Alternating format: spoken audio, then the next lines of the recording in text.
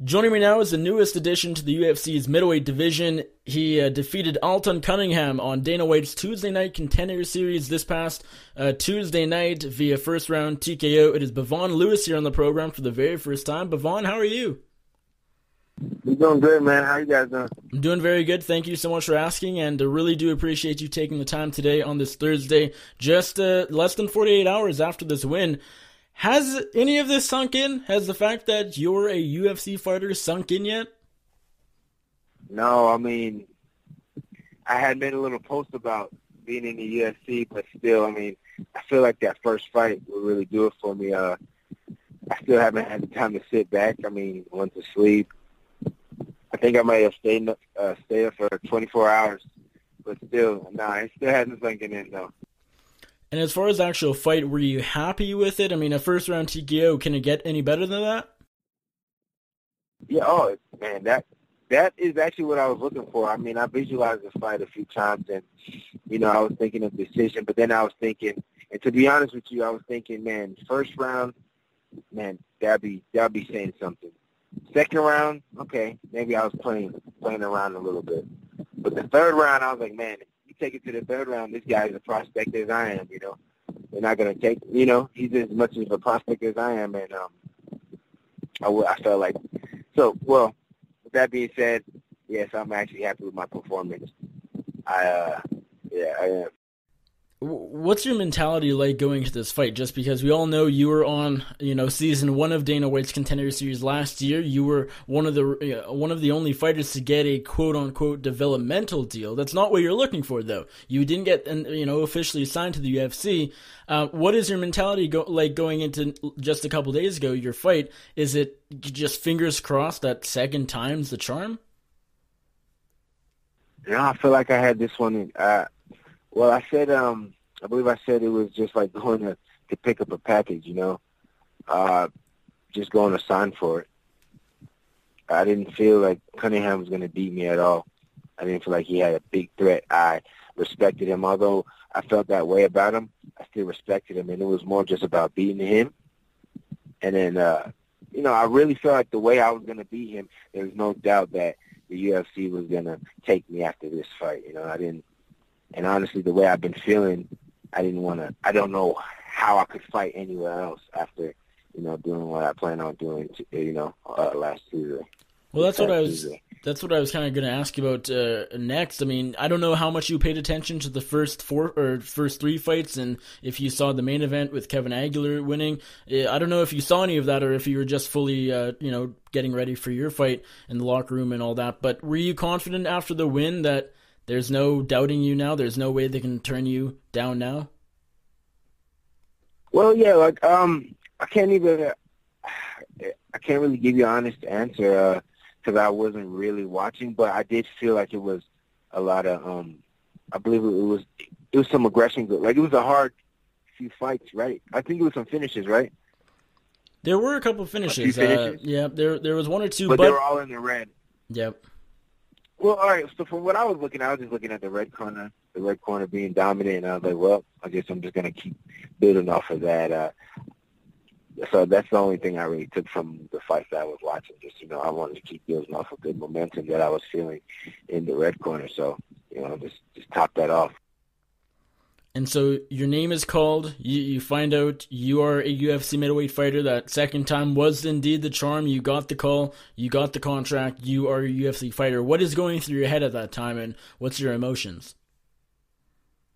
Um, yeah, I just felt, well, of course, excited, but uh, the words couldn't come out. You know, like I said, uh, uh I swore a lot, said a lot of swearing, but uh, still, I still haven't got time. Like even there being there and then getting the news like that, I was really happy. It was, but it was more just because I could see everyone there that was happy for me. I still, I still have yet to still feel the feeling that I'm, or maybe I'm looking for it and I'm missing it. I don't know what it is, but just I know what's next. You know, I know the next fight I have. I feel like I have a home now. You know, before you would, I would walk around and you know what what organization you fight for. I'm like, well, I don't know. I'm just fighting right now.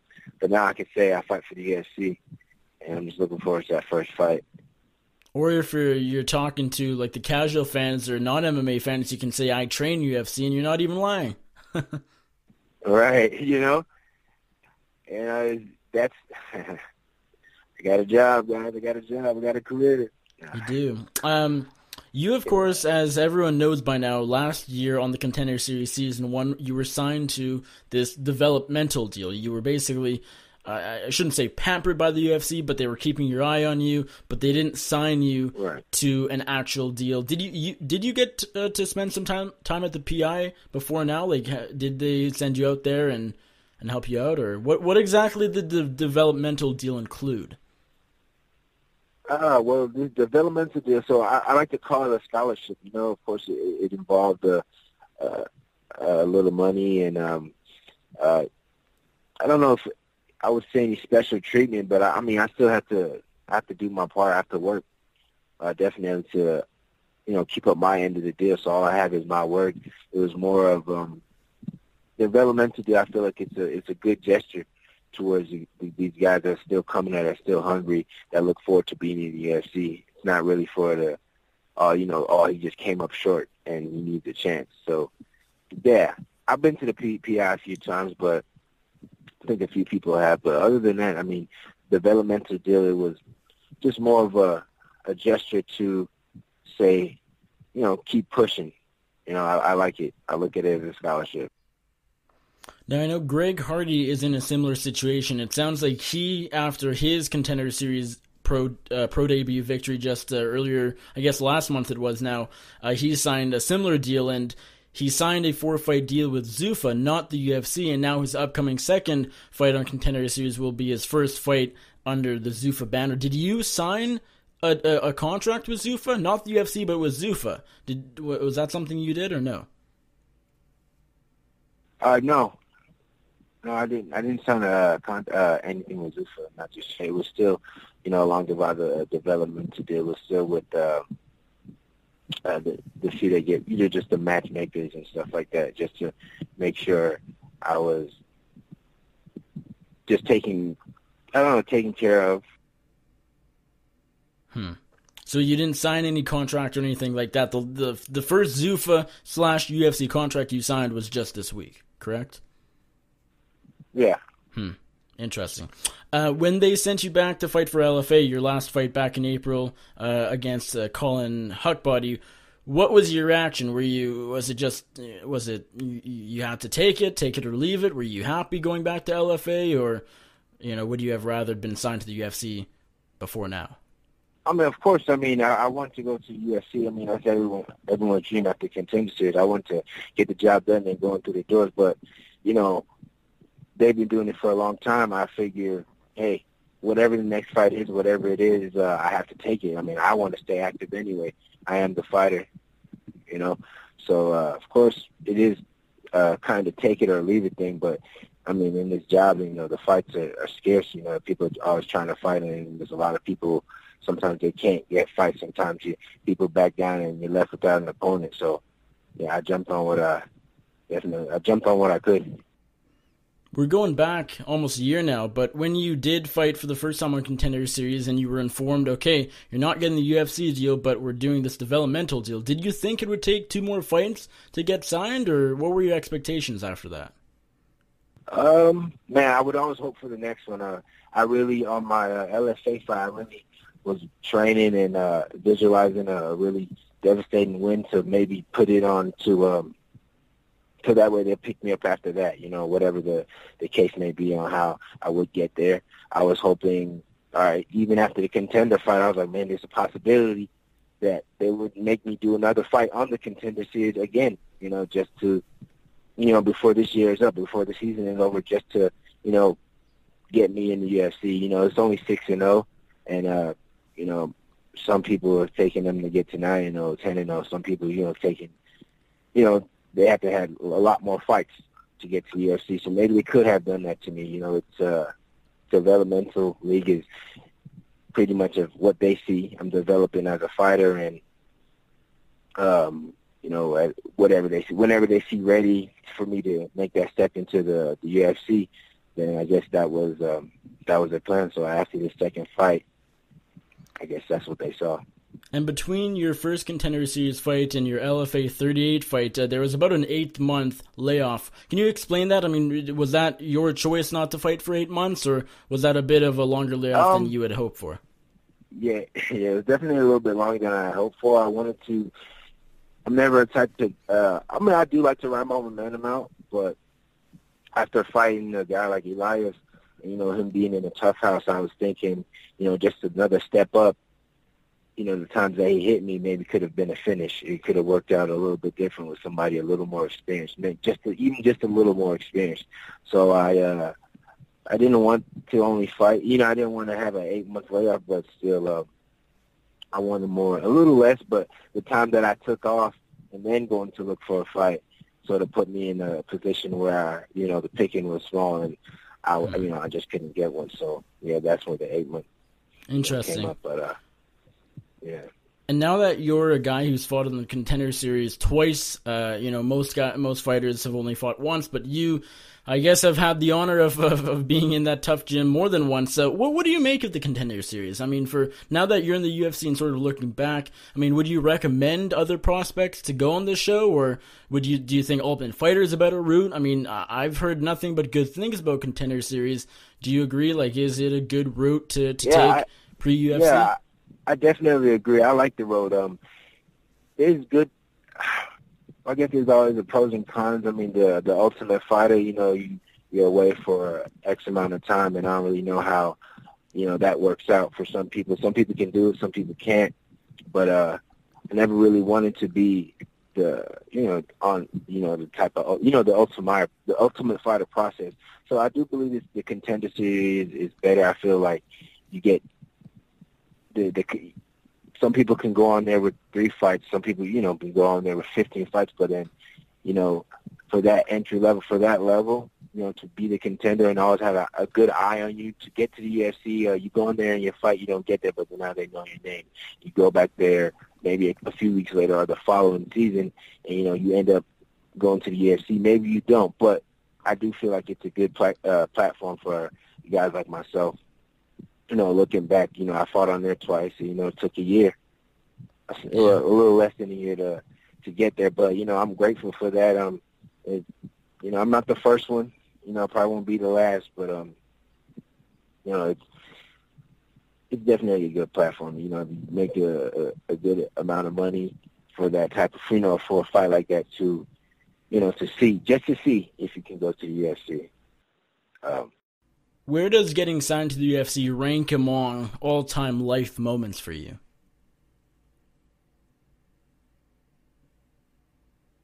Right now I'm at I'm at my highest in my head. Right right my head is still in the crowd and I still have yet to come down to see, hey kid, you're in the UFC. I had that that moment to hit me. I don't know what the emotion will be at that time, but right now, um, my head's in the clouds and um, I'm still coming down. I mean, I'm, yeah. Do you think it'll be difficult? well, I um, will. Well, Sorry, I will go ahead. I will say this: once I once I got there, I was at moment. You know, at that moment, I was sizing everyone up, and I know same thing was happening to me. You know, yeah. Have you already started looking at the rankings, looking at the 185 division, and and looking, you know, trying to pick up maybe a first opponent, someone you match up well against? Have you looked at the division at all, or are you just saving that for maybe your yeah, coaches look, or for I mean, down the I'm, down the road? Yeah, yeah, saving that for the coaches. But I mean, I would be lying if I said I didn't. I've been always I've always looked at the rosters. I've seen who dropped out and moved on to Bellator. I've seen people that's you know maybe thinking about coming back to UFC. Of uh, and I've always looked at the top ten. I've always looked at the champions, and and now you know realistically, you know we have to build our way up. So looking at the entry level, yeah, some there's guys on the that came in off the contender series at 185 that that, that that's looking at good matchups. I don't know names exactly, but I definitely watched the fight and saw the weight class, and definitely want to start looking at that. But um, you know, I know there's a yeah, they, yeah, definitely a few 85ers off the contender series that we have to start looking at if we're talking, you know, realistically building up in the UFC. And of course, making to, making it to the UFC is a big accomplishment checked off that bucket list. But do you think it'll be difficult at all not to, I guess, in a way, get ahead of yourself? And you got to keep in the mindset that, yeah, I've made it to the UFC, but the journey is just getting started. You, you know, it, it's just exactly. the one goal. It, do you think that'll be difficult to, to I guess, have that mindset and, and not get ahead of yourself? I think it, I've never been the type to get ahead of myself. You know, I've always I have, you know, I'm, I have the brakes on. I mean, there's certain things in life that I've been through that I've seen that maybe I could have pulled the plug on a little bit earlier on. Or, I mean, a little bit early, you know, or let go or such and stuff like that. But I'm really, you know, I, I, I won't. I know it's going to be a challenge because I can say this one time, but you know, I've never.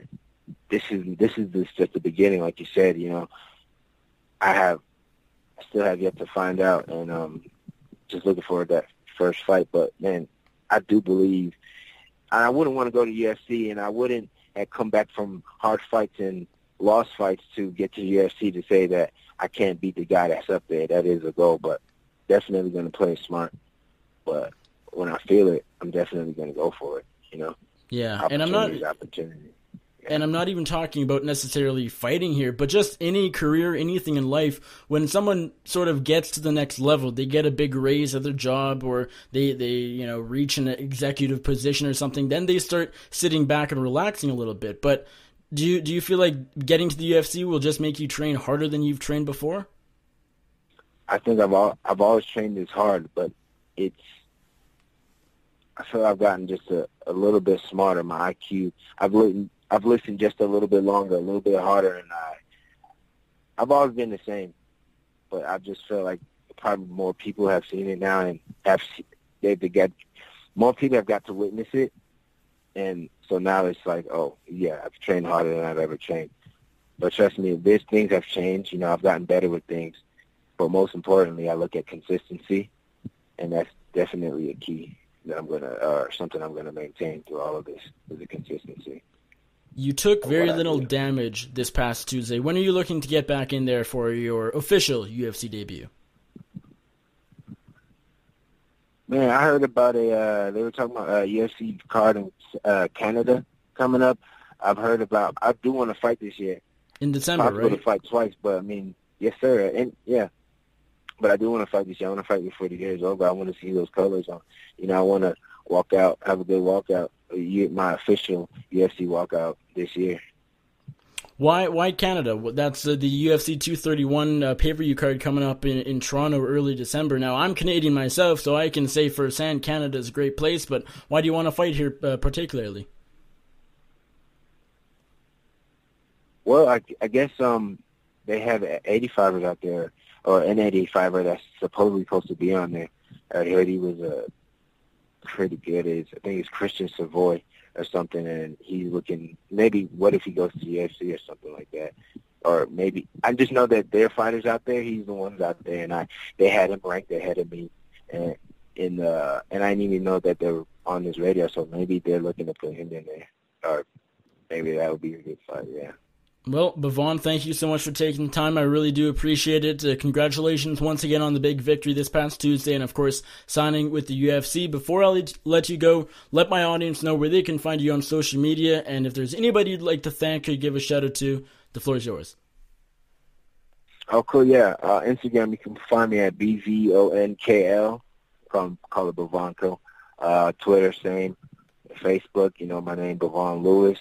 Uh, first of all, I just want to thank everyone out here in Albuquerque, just anyone that whoever supported me.